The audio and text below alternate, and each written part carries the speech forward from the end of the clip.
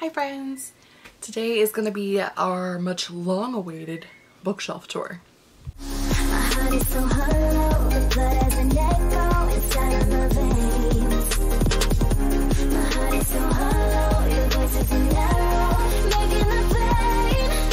If you haven't been around for the last three or four months, I did a complete overhaul of my office, an entire redecoration, redecoration. I mean, redecoration is actually kind of accurate because it was a reorganization and a redecoration, so redecoration. My bookshelves were one of the things that got changed during that. Now, I have been filming in front of them for quite a while since they moved um, because I have sucked at filming this part and wasn't really sure what I had left in the office footage that needed to be moved into. The, it's been a thing, like it's been a whole thing, but finally I've come to you. We are here. So we are going to go way back in time to when I originally moved the shelves. Um, I've got a couple of clips from that footage. Also, if you want to see the full office reorganization. I will link both of the other videos in the description box down below for you. We are not going to do a full like pull every book out thing. We're just going to go over um, the shelves themselves. I will do a full overview so you can see the whole shot and then we'll go over the shelves and talk about uh, kind of how things are organized, maybe show you some different books like my favorites or least favorites or why would I have least favorites on my shelves, who knows, not me. Um, and we'll just kind of go over like where things are and how I made those decisions. And uh, I'm not completely happy with my shelves yet. Uh, there are still some things that I would like to change, but for now, I'm happy with the way things are. And um, I do have a few books that are missing because they are being borrowed currently. So we're just we're just going with what we have. I've, I was kind of waiting for everything to come back and it's fine. So let's go into the past and then we'll come a little more into the present. So this is what we're working with. Um, as stated previously, um, you know, you can check out the whole video of the entire office, but if you just want to get like the bookshelf redo, this is it. Um, the bookshelves were over here all along this wall, um, just between the two doors. It took up all the space between those two doors. And I have moved them over into the corner with the small shelf um, my cube stands stacked on top of one another, and then my regular three bookshelves. I'm also going to do some adjustments of my unread, uh, my TBR shelves, and these shelves over here, which are, these are red, and then these two on the top, the this one and this one are both unread. I'm going to do some changing around of those as well. These are red also. I think I'm going to make the bottom shelf all red books and move over the ones that are over here that are red to over here on the white shelf and then just have only unread books on the top shelf. And I'm gonna do some unhauling of red books and I think these two shelves, the, ooh, there's that light, doesn't let you see that, there you go. Um, I think these I'm going to, the two bottom white shelves I'm going to make for like my cookbooks and notebooks and things like that that's where I'm at. Um, I'm going to work on this for a little while. I am currently reading, I am currently reading Sanctum by Madeline Roux. It's the second book in the Asylum series. Uh, so I'm listening to that on audio while I work on this project. Um, I'll give you guys an update in a little bit.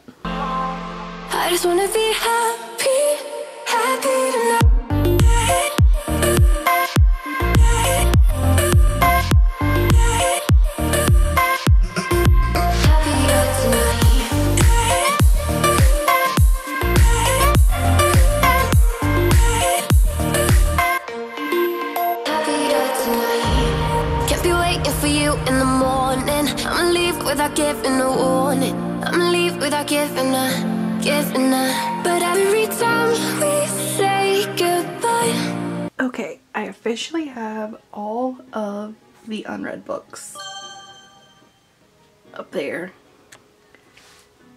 and there. Now for the rest of this mess. Okay, so here's our wide shot of how everything is currently looking. Um, the Olive Garden bag is books that are being unhauled and I need to take them to the donation center, but if I put the bag up, I will forget to do it, so that's why those are there. Um, shelves, lots and lots and lots of shelves. Plus at the top, all the way over to there. The light might change, it might not. Well, if I do that. So, lots, lots of books, as you all are aware also.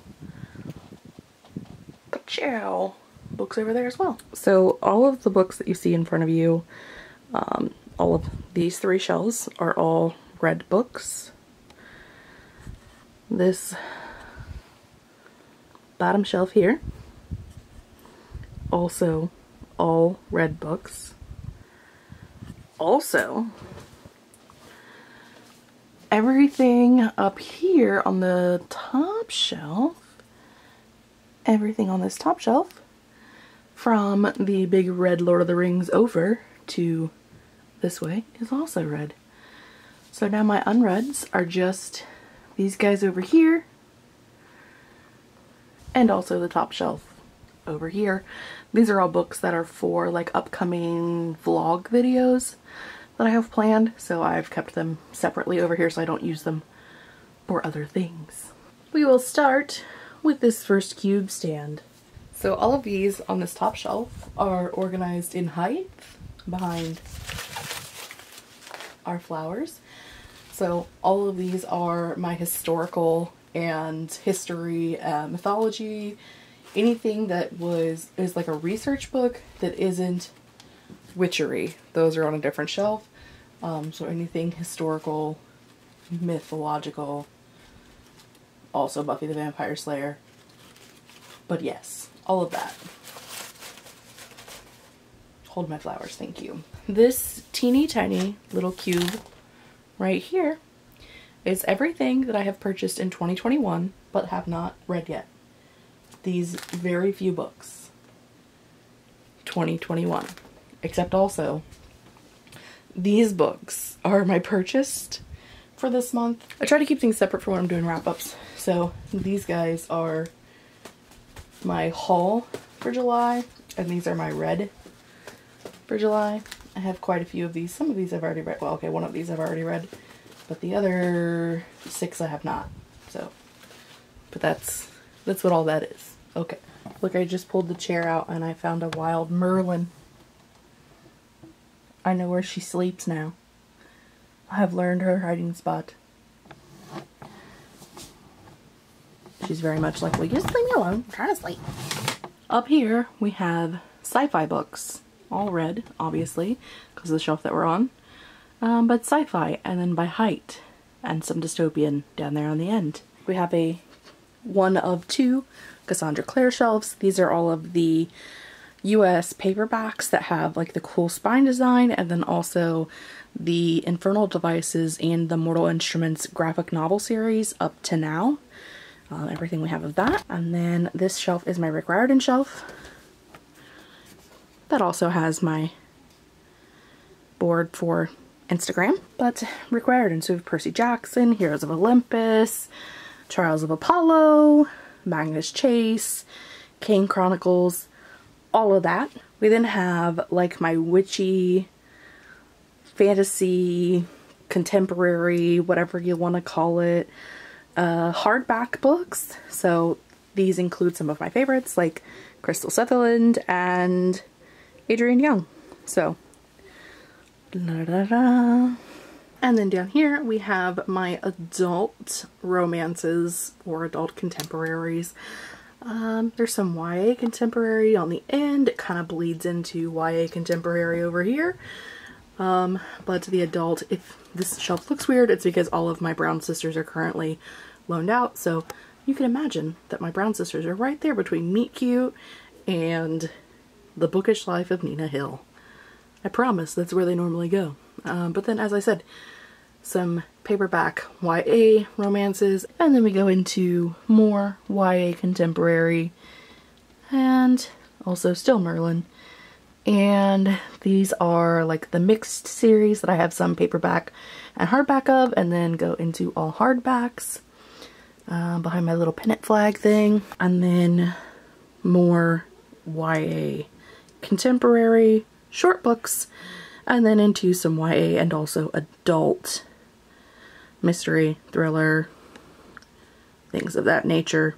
We went all the way across the bottom. Let's go back to here. Clearly, this is my Susan Dennard shelf. I have two, three more books that need to go on the shelf, but as you can tell, no room for three books on this shelf. So, things are going to be changing very soon. We then have this shelf that is very dusty and needs a bath. But this shelf is like some of my special editions or just books that I think are really pretty.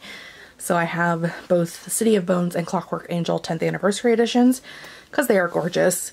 My 10th anniversary edition of Vampire Academy, again, gorgeous.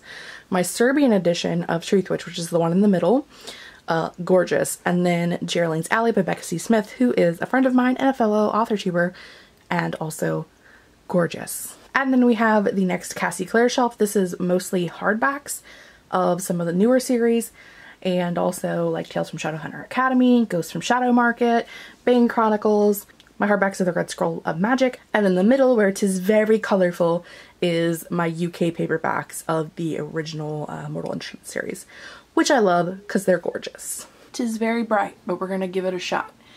Uh, up here, we have my mostly Richelle Mead, but Vampire Academy, Bloodlines, and then some witch books there on the end. Uh, the, These Witches Don't Burn by Isabel Sterling, which I love.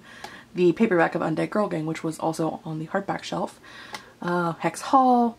And then on the end, because I had no real idea where else to put her, I put um, An Ember in the Ashes by Sabaa Tahir. I still don't own the fourth book, so waiting for that to come out in paperback. And then this next shelf is mostly Amanda Hocking, but also includes my Cate Tiernan Sweep series, everything I've read so far, um, some Madeline Roux, some Maureen Johnson paperbacks, um, Winterwood, A.R. Kahler, some Jesse Elliott, who is kind of sort of sometimes a fellow author tuber, and then the Trylle trilogy, the Kanin Chronicles, the Omte Origins, and then uh, the Valkyrie duology, and then uh, just Lullaby by Amanda Hocking, the second book to which is here because it is tall and does not fit on that shelf. When I put the extra holes in for that shelf, it's uh, it's a very small amount of space. That shelf used to hold my mid-grade, but I had to move those because I was overflowing. Uh, so this one is um, a mishmash of just things that I've enjoyed that fit on the shelf height-wise that didn't really have a lot of space for on other shelves. So we have the Grishaverse trilogy, uh, Beyond the Ruby Veil, Lost in the Neverwoods, some Cemetery Boys, Horrid by Katrina Leno, that's what this is, if you're wondering, because it's a completely different cover. Um, my Kelly Coon books, Grave Maidens, War Maidens, love those. Uh, my Gilded ones, um, Sarah Glenn Marsh, love those. So all of those things. And here we have the last shelf on my three standing bookshelves. Um, and this is just some dystopian and some leftover like heroes and weird magic things that don't really fit anywhere else height-wise. Again, these last two are just kind of like a mishmash of other things. Um, so one of my favorites that I just recently reread, the Hunter Trilogy by Mercedes Lackey. Um, I do have all three of these books. One of them is out on loan currently. Some tall sci-fi that wouldn't fit on the sci-fi shelf all of these kind of sci-fi that doesn't fit on the sci-fi shelf. And then random Holly Black on the end. And also, way over there uh, are my graphic novels. Okay, so now we are on the shelf directly above those. And we have my pretty Harry Potter editions, woohoo. Um, but also some of my older series, like older YA series that I've read. Beautiful Creatures series, I can't remember the actual name of the series right now, it has escaped me. Um, some L.J. Smith, some Witches, Wicked, uh, Fallen, Teardrop, some, some Lauren Kate, also some Rachel Hawkins, Divergent, Red Queen, you know, all those things. Back behind that giant bouquet that hangs out in the corner, isn't she pretty? That was my maid of honor bouquet from my friend's wedding. Uh, but back behind there, all of my House of Night novels. And then we get into my mid-grade that used to be on the mid-grade shelf. Um, but like Wanla and my Sarah Normal series and the Creepover series and just some random ones, some Schwab, some witch books, then just like a crazy random amalgamation of books that I have read. Just just random, completely, except this end one is all Christmas. But but random, completely, absolutely random. Also random is up here. Just most of these are ones that I am not sure that I'm going to keep, that I enjoyed them enough to keep them, other than like, you know, The Princess Bride, which I obviously loved. This spot right here is uh, memoirs and things, but a lot of these are ones that I'm not sure that I'm going to keep or not. I don't know. Haven't decided. So, unread books, you want to see those? I'm literally just holding the, the tripod in the sky now. Okay. Uh, unread books, yes. We have those.